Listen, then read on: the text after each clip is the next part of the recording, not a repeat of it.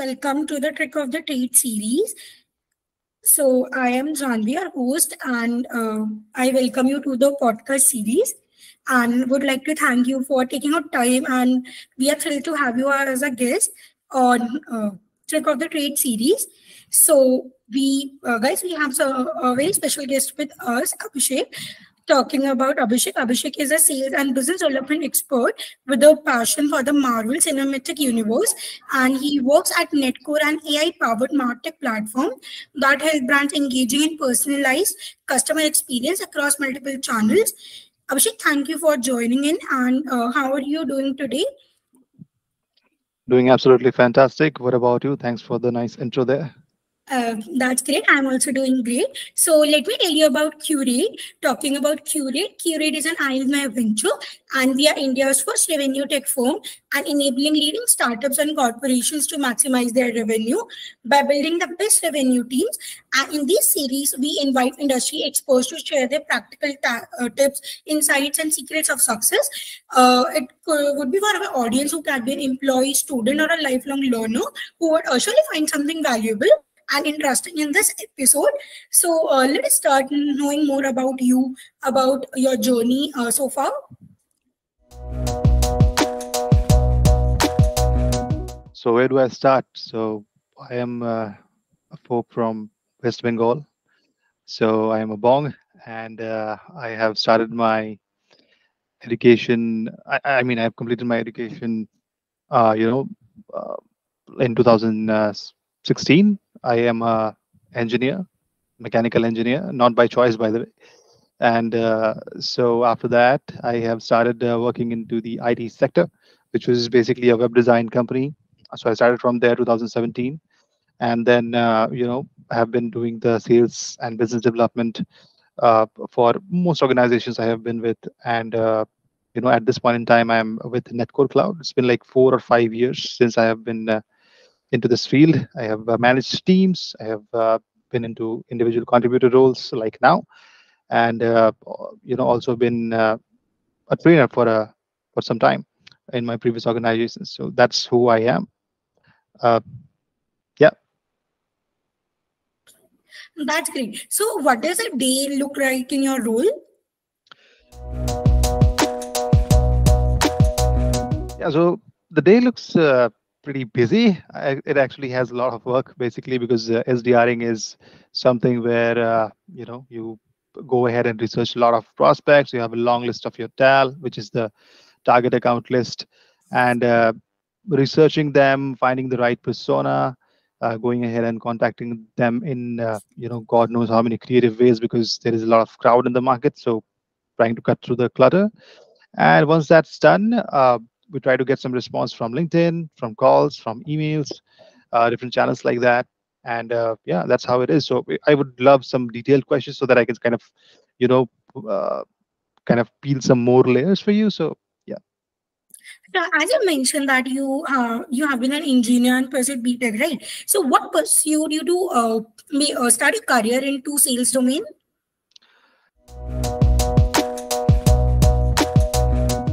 Um, nobody uh, actually ends up in sales because they want to. it is kind of accidental. So it was with me same as well. So, but yeah, I love it so far because it's pretty challenging. It helps you grow. It helps you, you know, uh, build immense confidence because you're talking with strangers day in day out. So that is kind of uh, keeping you ahead of 90% of the other people, right? Uh, not comparing, but of course that's kind of a very uh, expensive skill in this market i would say because you know uh, no matter how many how much ai or something comes in but a human interaction would be a human interaction and uh, empathy would never be able to matched by an ai so i think uh, this is what i have learned and uh, again i said this is accidental but loving the journey so far that's great. So, how do you measure the effectiveness of your demand generation efforts, and what metrics do you use to evaluate your success? Yeah. So uh, generally measuring every step is pretty hard. So we have some automation tools that we use, something like an outreach. So whenever we are making an outreach to a customer, we have a you know a, a back uh, dashboard where we are able to F, um, measure all our efforts. So let's say how many calls we have made, how many emails we have sent, how many LinkedIn messages we have sent, all of that, right? So that's how we measure our efforts. And uh, can you repeat the next question, like the second part of the question? And uh, basically, what metrics do you use to evaluate your success? Yeah, so targets, of course, right? So once we, uh, you know, achieving, we are achieving our targets uh, month by month, quarter by quarter. That is something how we measure measure our success. Apart from that, there are definitely other things like how much creativity we are showing in our job, uh, what is the unique, uh, you know, personality that we are presenting in front of the customer, which you know they haven't, they have kind of never heard about. So like pattern disrupting techniques is something which is appreciated in our field, and uh, that's how we kind of measure our success there.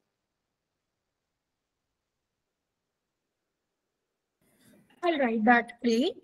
So, uh, what roles uh, does technology play in modern sales and demand generation, and what tools do you uh, use to maximize your results? Yeah, so as I said, outreach is one of them. Uh, so this is a uh, you know a sales engagement tool so whenever i need to make any kind of calls emails we use that tool because that helps us keep, keep a track of things. Uh, next, we use LinkedIn Sales Navigator. That helps us, uh, you know, bringing out a lot of useful data about the persona or the client we are targeting. Uh, we use ZoomInfo uh, to get, again, the phone numbers, the emails, and uh, all the useful step which come in handy while, uh, while we are contacting them. We use Lusha, which is similar to ZoomInfo, but it is kind of an extension. So this is kind of a tech stack that we have uh, at this point in time. That is Outreach, LinkedIn Sales Navigator, ZoomInfo, and uh, again, some few extensions here and there. All right. So how do you manage and prioritize your sales pipeline to ensure that you're focusing on the most high potential prospects and closing the deals effectively? Correct. So this is uh, there is a research and uh, market research team that we have, right? So they help us kind of prioritizing our account. So there is a certain tag uh, allocated to every account. So let's say P1 to P10, which is priority one to priority 10. Uh, so this kind of we, uh, this is something which is, you know, prioritizing our account list. So P1 is very important. P2 is important, something like that. So grading uh, the account from a P tag. So this is this helps us kind of keep a uh, you know uh, a track of the you know accounts and managing it properly. And based on that we reach out to the accounts uh, because every p tag account has different features or different uh, you know remarks written in them which means that this should take we should take kind of special care while reaching a p tag p tag 1 versus the p tag 2 so there are certain differences between them so this is how our research team helps us to manage the TAL list, the account list. Absolutely. And what are the key elements of an effective cold outreach measures? And how can one ensure that a message uh, stand out in a crowded inbox? Yeah, so that's the hardest job. So uh, to stand out, we have to definitely go ahead and make sure that we are reading a lot so as an SDR, I read a lot. I watch a lot of videos of sales influence influencers uh, on LinkedIn, and I consume a lot of content that they share because whatever is working for them, they kind of share the uh, those contents on LinkedIn. One of them is Josh Braun. I would highly suggest someone who is watching this to go ahead and check him out because you'll get a lot of pattern disrupting techniques uh, from him on calls and on in emails as well. So to stand out in the crowd, we have to be special something highly personalized uh, so that you know the person resonates that hey this is not a generic email or generic email or a generic call. So we can open up with uh, so the for one example i'd like to give you if i if i'm allowed to take some time here. So in the calling uh, you know game there is very generic openers. So we are pretty used to it right? You probably get cold calls a lot. So if you hear them you're like all right this is a cold call. I'm hanging up correct?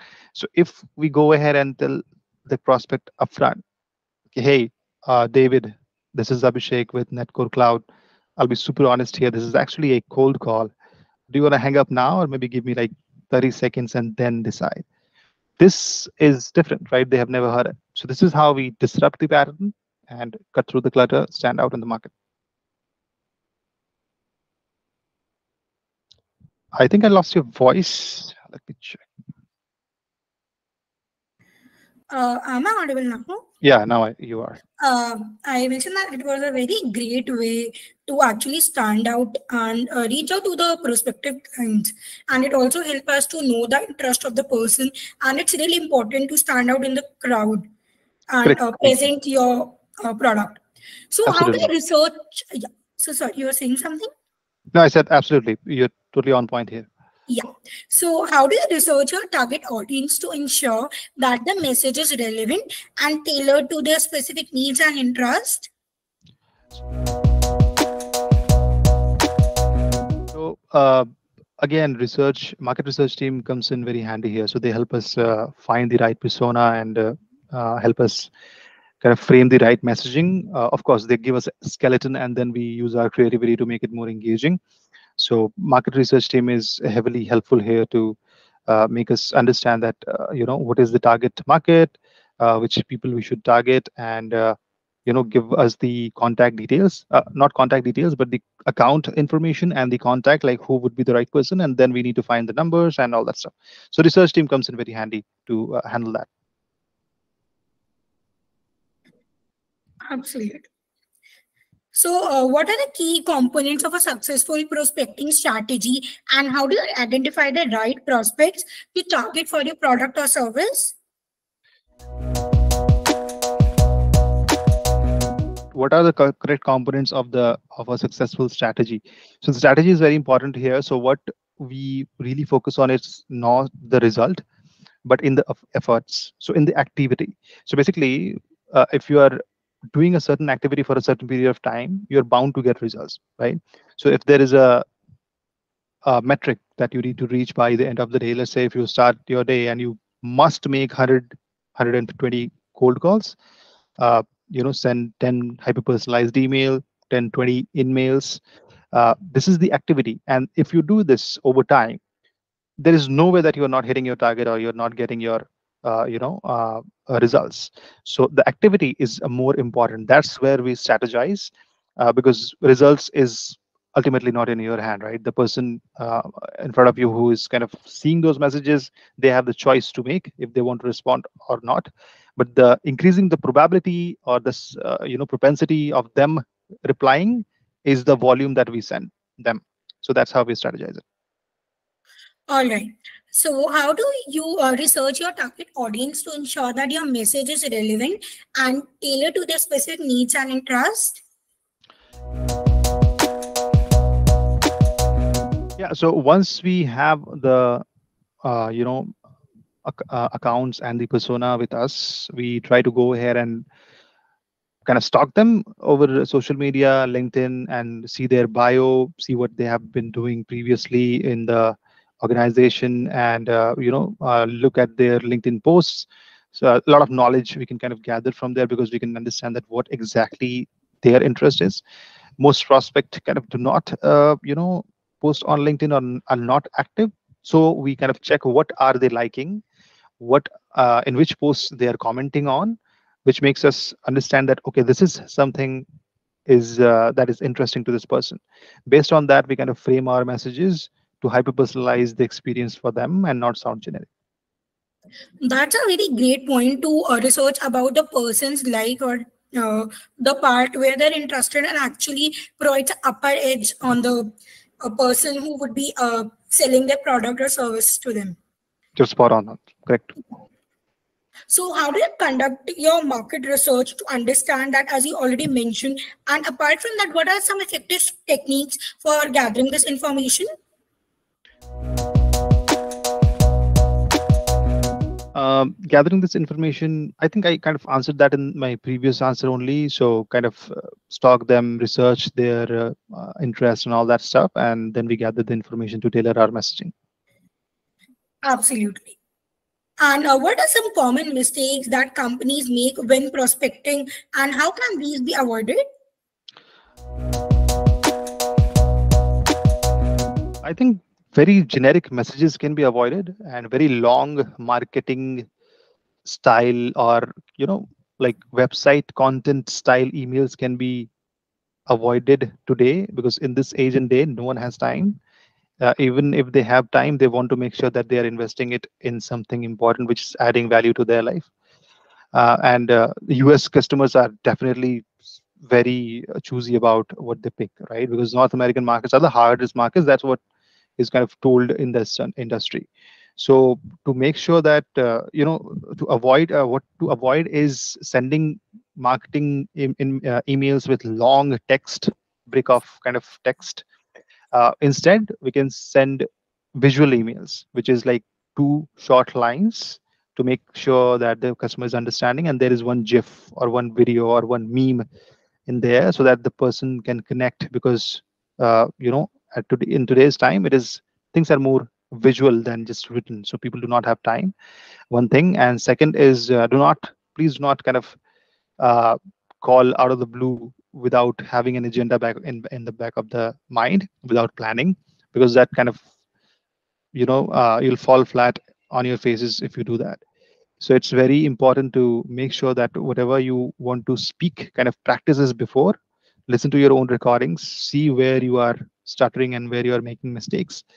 And once that's done and once you feel that all right now i can go ahead and pitch this uh, without any stutter or you know something like that along those lines go ahead and pitch that. So short emails uh, short crisp uh, very honest call openers uh, should be done instead of long boring uh, you know traditional kind of messaging over the phone and calls and emails.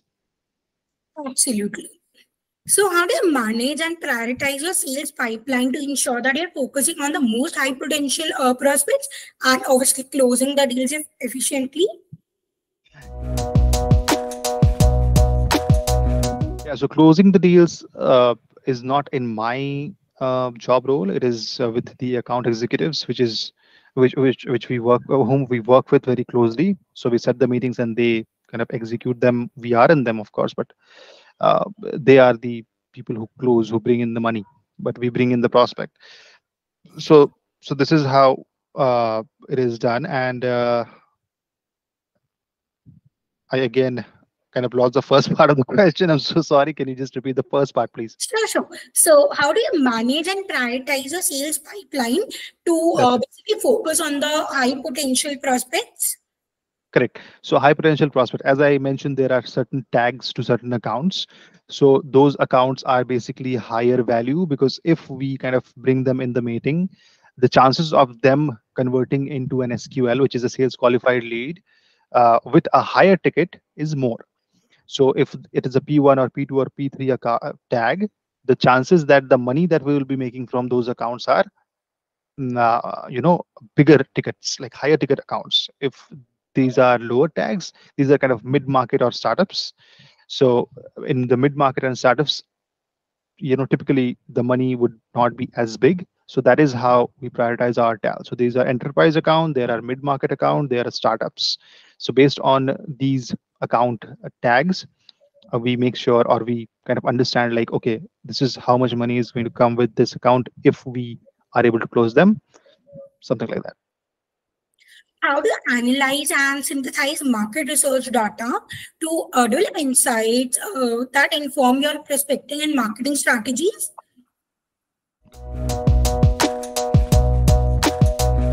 Yeah, so there are certain campaigns that always going on. So let's say our, that our marketing team, research market research team is always pushing in a lot of content in the inboxes of these uh, customers which are in our TAL or the prospects which are in our TAL.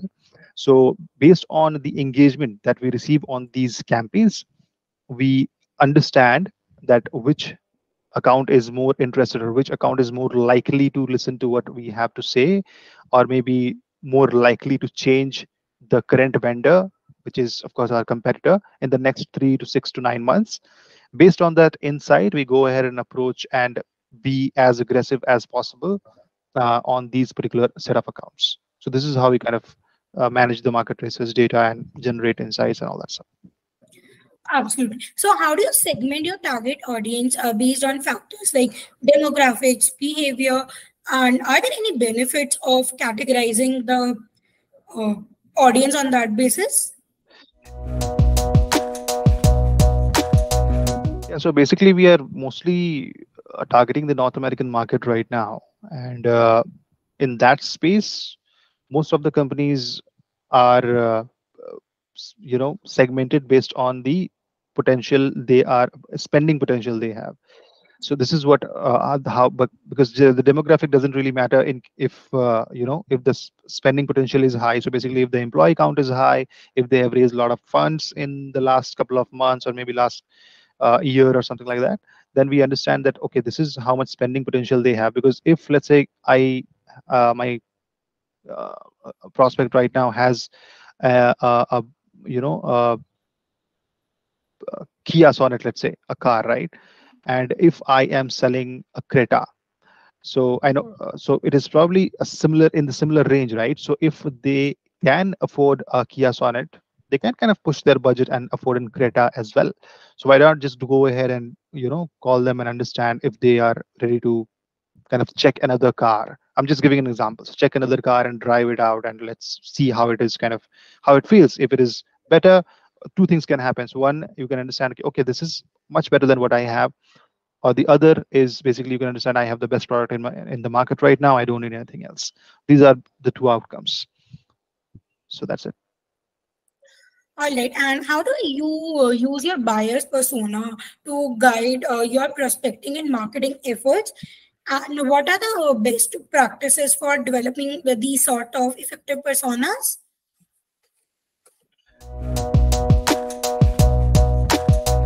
Yeah, so I think uh, kind of answered this question before. So uh, uh, developing the personas, uh, I think I did kind of answer that question. I'm not making this question is not kind of making sense to me. So uh, if you if you would like to kind of elaborate on that, uh, it will help. It will be helpful. All right, sure. Uh, so there are uh, many type of buyers and uh, they have different personas, different set of buyers. So how do you identify the different sets of buyers and how it uh, uh, how categorizing actually helps you to uh, plan out the strategies? Okay, so I think this is about the decision maker. So basically, if there are three type of buyers, so let's say if there is an account and I have like four or five contacts in them, and all are kind of decision makers, but there are segments that they are divided in so one is the key decision maker. Second is the influencer one.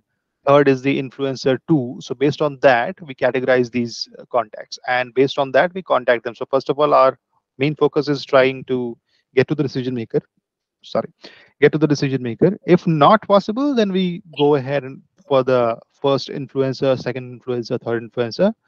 Based on that, we try to bridge, uh, you know, some channels to the right buying persona that's how we categorize them and kind of target them.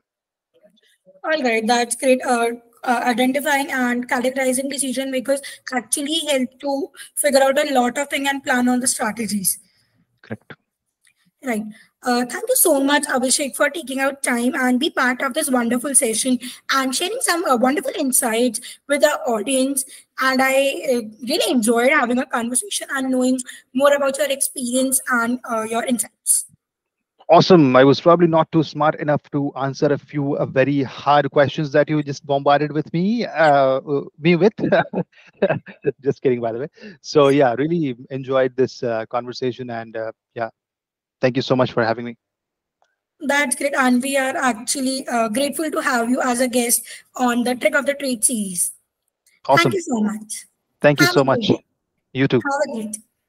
Bye-bye. Bye-bye.